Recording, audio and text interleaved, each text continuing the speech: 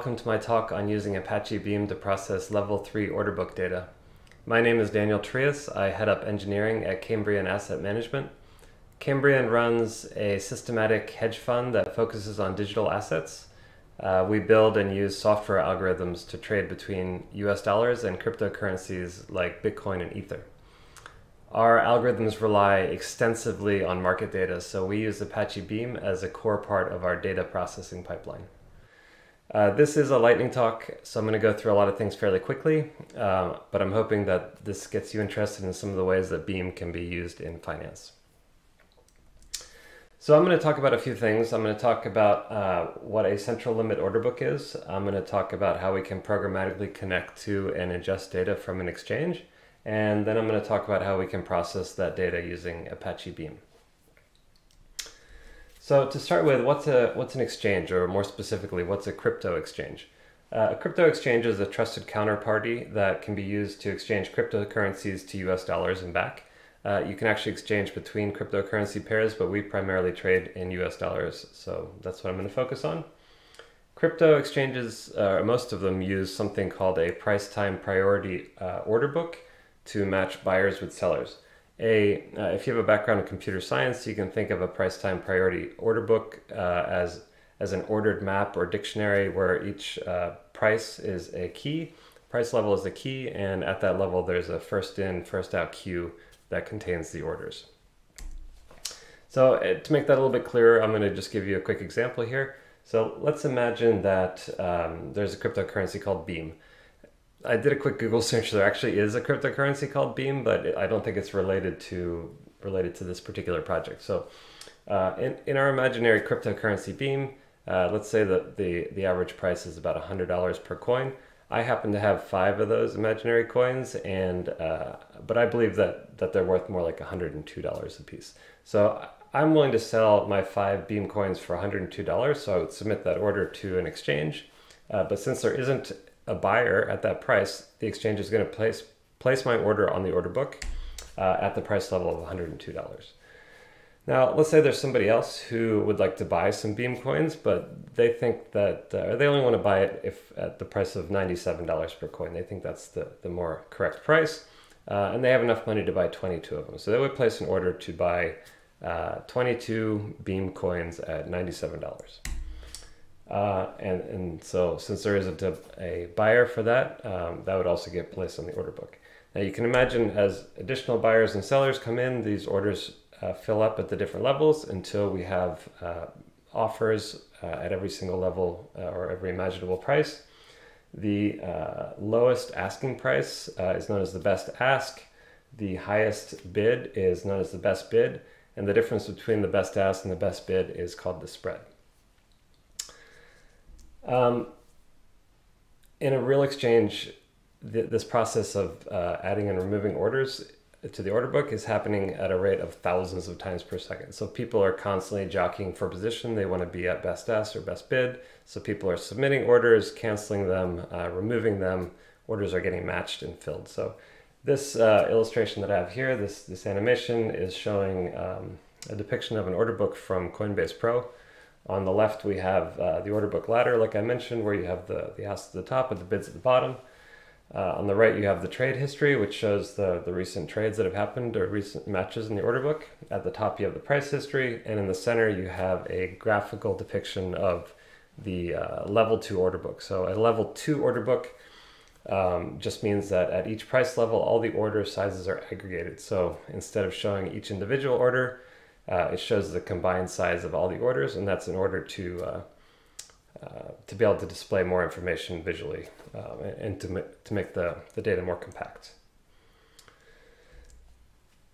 So um, that was the background information. Uh, let me let me talk a little bit about why this is important to us.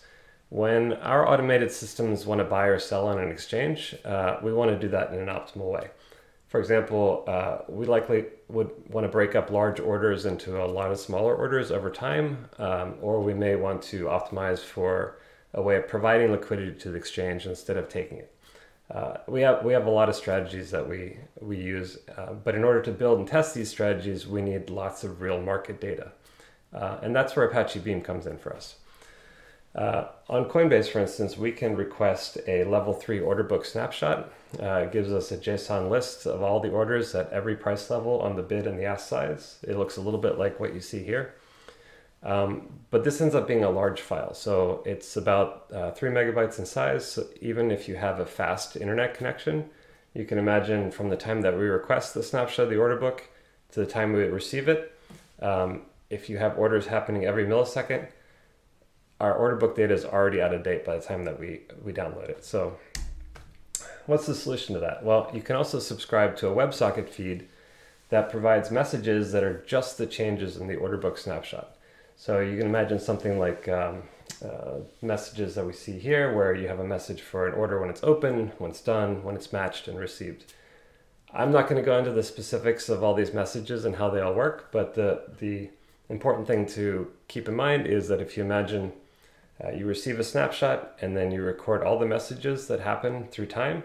Uh, if you replay those messages on the snapshot, you can recreate the full order book at some point in the future. So, um, the amount of data that comes in is quite large. Um, too large to reasonably store in a database. We can't possibly store all these messages in a database, and we can't possibly store um, uh, all the order book snapshots at every point in time. But uh, we can use Apache Beam to process the data to put it in a format where we can use it in the future. So we can imagine that we want to um, sometimes grab historical data, but maybe we just want an hour's worth of data at a particular time or just a day's worth of data. So we have uh, a Beam pipeline where we connect via WebSocket to Coinbase. We read the messages coming through the WebSocket. We write them to PubSub, our pipeline is uh, deployed on Google Cloud. Uh, the key would be the asset name or the instrument name, and the payload would be the message JSON. And then uh, Beam reads from PubSub. It applies a windowing function to those, uh, groups the files by the or groups by the asset name, which is the instrument name, and then writes the files windowed to disk, where you have one file per hour per asset written to disk. We also have a more sophisticated pipeline um, that applies custom transforms to the snapshots based on incoming messages. So it, it, essentially is what it's doing. It's processing the full order book snapshot um, based on the message that comes in, but it only outputs the JSON of the top 10 level, uh, the top 10 price level changes. So instead of outputting the entire order book, we're processing the entire order book, but then only outputting a truncated version of it. And that allows us to store uh, the truncated windowed order book snapshots in a reasonable way on cloud storage. So like I said, this pipeline is deployed to uh, Dataflow. Uh, we're currently processing about 100 unique keys in parallel. Um, and overall, we're handling uh, between 5 and 10 billion messages per week. So what are we working on now? Um, we have multiple Apache Beam pipelines for uh, everything from trade data, order book data, derivatives data. One of the great things about Beam is that it allows us to scale up very easily. So we're constantly adding new pipelines and scaling them. Uh, and we're also working on a lot of custom PTransforms where we can take, um, you know, apply uh, transforms to take the data that we're ingesting and place it in a format where the data science teams can work with it directly. Unfortunately, we're out of time here for my lightning talk, but I hope this uh, got you a little bit interested in some of the ways that we're using Beam for finance. If you have any other questions, I think you can catch me on the Slack or email me, Daniel at Cambrian Asset, or on Twitter at Therese. Thanks so much.